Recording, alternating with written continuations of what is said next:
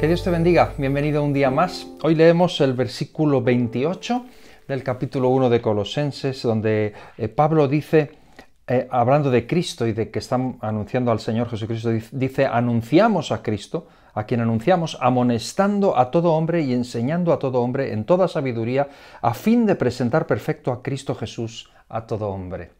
Y he, titulado este devocional Perfeccionando, porque Pablo, después de decirnos eh, el, gran misterio de Cristo, el gran misterio de Dios revelado en Jesucristo, que ha sido revelado, que, ha sido, que, él, ha sido hecho ministro para anunciarlo al mundo, dice a quien anunciamos, pero algo más. Después de todo, Pablo se toma la molestia y el atrevimiento de no solamente anunciar a Cristo, sino algo más y por eso lo he llamado perfeccionando. Dice varias cosas aquí, anunciando a Jesucristo, dice amonestando a todo hombre, enseñando a todo hombre, en toda sabiduría, a fin de presentar perfecto a Jesús en todo hombre. Es decir, amonestando a todo hombre en primer lugar. He estado mirando el significado de esta palabra, amonestar es advertir, aconsejar acerca del comportamiento. Es decir, que Pablo no solo anuncia a Jesús, sino que amonesta a la gente en cuanto al comportamiento. Segundo, no solo amonesta, sino que enseña, que es más que amonestar, es más que advertir, es enseñar, es impartir habilidades a la gente.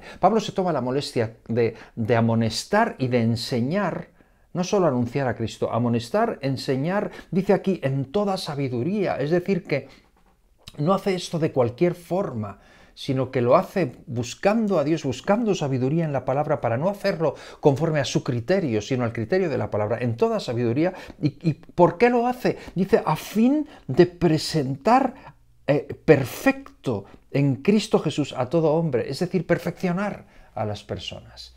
Y este es el tema hoy perfeccionando. Te dejo esto en el corazón.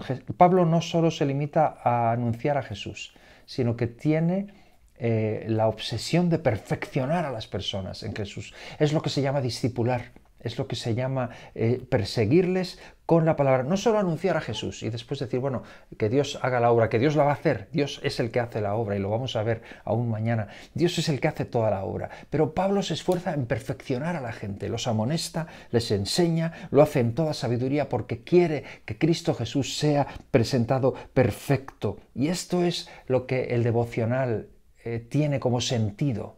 Cuando leemos la palabra de Dios, no es solamente un anuncio, no es solamente aprender algo, es qué tiene que ver conmigo, cómo puede tocar mi vida, cómo puede perfeccionarme, cómo puede transformarme. Y te reto en este día a que puedas mirar tu propia vida a la luz de la palabra de Dios y constatar que estás siendo perfeccionado cada día, que hay cosas que están cambiando, que están en proceso. No todo es perfecto, pero todo está en un proceso de ser perfeccionado. Si es así, tú eres justo, tú eres un hijo de Dios, una hija de Dios, que estás siendo perfeccionado, creciendo y aumentando cada día, como la luz de la aurora que va en aumento de luz hasta que el día es perfecto. Estamos siendo perfeccionados y en ese proceso brillamos por Jesús. Que Dios te bendiga.